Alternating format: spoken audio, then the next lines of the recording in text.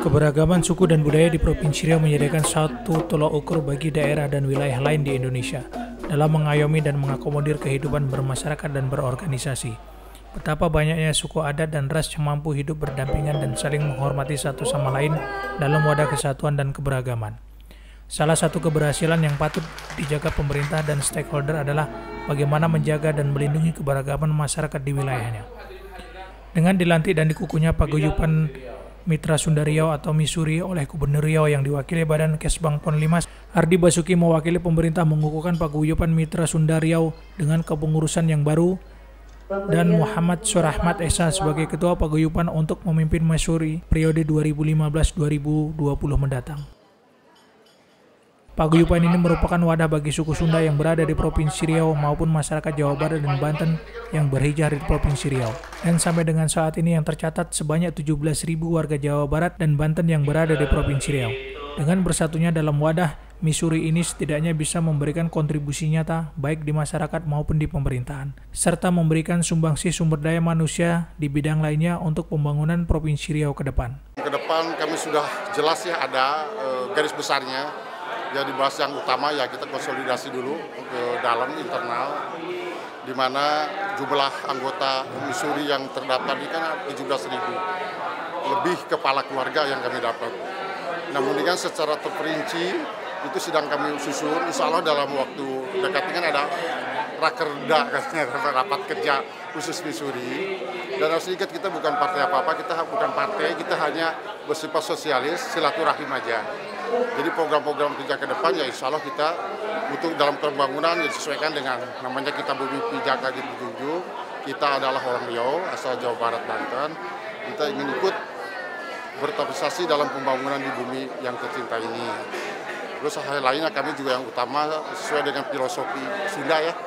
Sili asah, sili asih, sili asuh, sili asah.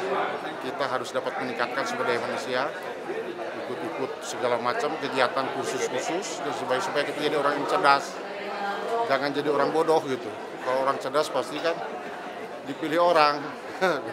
Kalau orang cerdas kalau orang bodoh kan dibuang orang gitu kan. Jadi dalam hal peningkatan ilmu ini ke depan ini mudah-mudahan ke depan orang-orang e, Riau asal Sunda ini bisa duduklah di pemerintahan minimal jadi pejabat yang tertinggi yaitu RT gitu kan Pemerintah Provinsi Riau tentunya berharap organisasi-organisasi paguyuban suku ya, yang ada di Provinsi Riau ini tentu ikut berpartisipasi dalam membangun Provinsi Riau.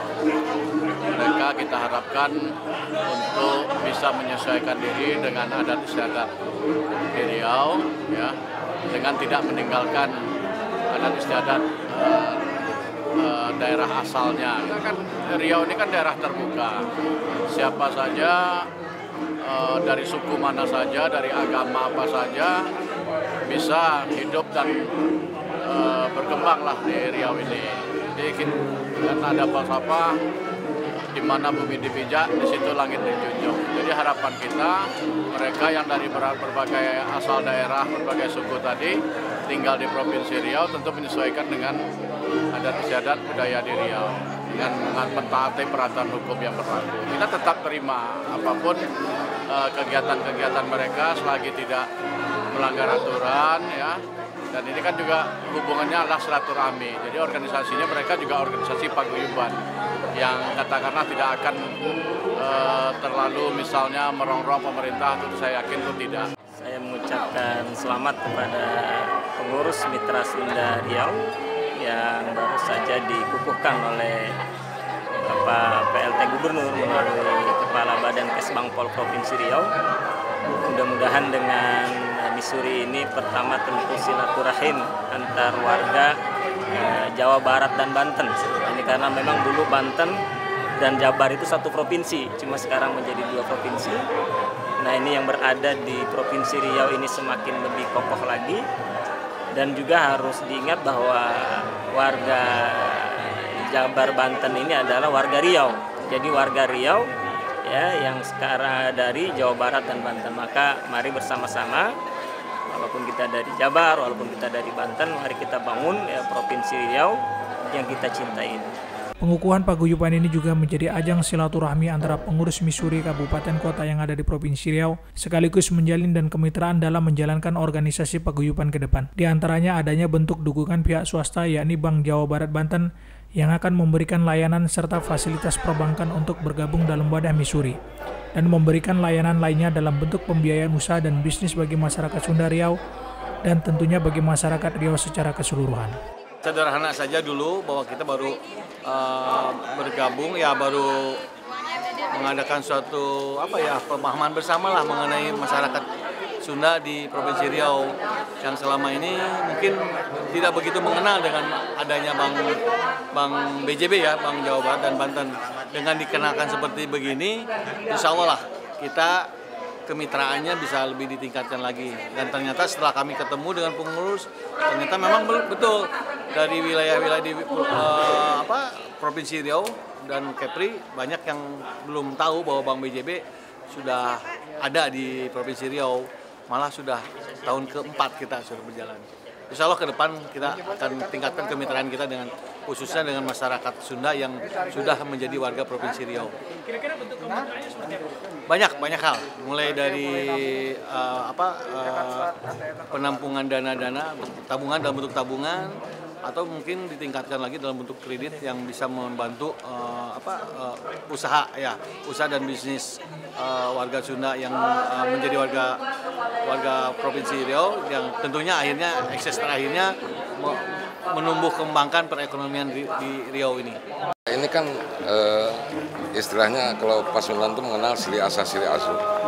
Jadi ini wadah wadah mempersatu warga Jawa Barat yang ada di uh, Riau. Nah, mereka sudah lama di sini ingin juga ingin ikut membangun uh, provinsi Riau ini kan. Setidaknya wadah ini uh, bukan merupakan wadah yang mengkotak-kotakan suku bangsa, tapi ini merupakan wujud dari NKRI, Negara Kesatuan Republik Indonesia. Saya eh, tadi pesan agar menjaga nama baik uh, Pasundan hmm. yang dikenal Sili Asah Sili Asuh. Hmm. Saling mengasihani, saling berkomunikasi dan berinteraksi serta saling membimbing. Hmm. Seperti wujudnya ajaran Islam uh, mengajarkan kepada umatnya untuk memberikan kasih sayang hablum minanas ya, sesama warga masyarakat itu. Nah, jangan sampai uh, warga masyarakat, warga Pasundan yang ada di sini melakukan pelanggaran hukum. Jauhkan hukuman, kenali hukuman itu istilah filosofi eh, tagline kejaksaan ya. Eh, jangan sampai mereka memalukan nama baik eh, warga Jawa Barat. Dengan adanya paguyuban Missouri tentunya akan menambah khasanah dan keberagaman suku yang ada di Provinsi Riau yang mau tidak mau ikut dalam aturan dan keselarasan masyarakat Melayu. Bak kata pepatah di mana bumi dipijak, di situlah langit dijunjung. Semestinya lah sebagai warga Sunda yang ada di Riau taat akan aturan dan norma-norma yang ada. Purwanto, Ceria TV, Pekanbaru.